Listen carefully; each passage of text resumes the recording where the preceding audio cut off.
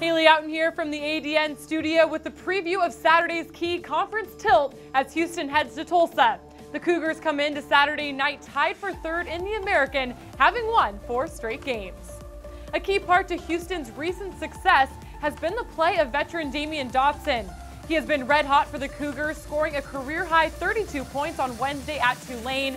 Dotson has scored 20 or more points in five straight games. Meanwhile, Tulsa is coming off a three-game skid in conference play, but is just one and a half games in back of Houston and Memphis.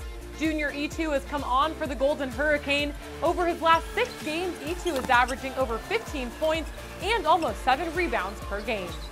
The Golden Hurricane will have to limit turnovers against the Cougs.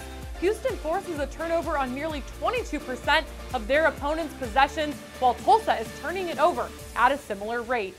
Tip-off is set for 6 p.m. Eastern, 5 Central on ESPN News, and we'll have the highlights and post-game coverage for you right here on the American Digital Network.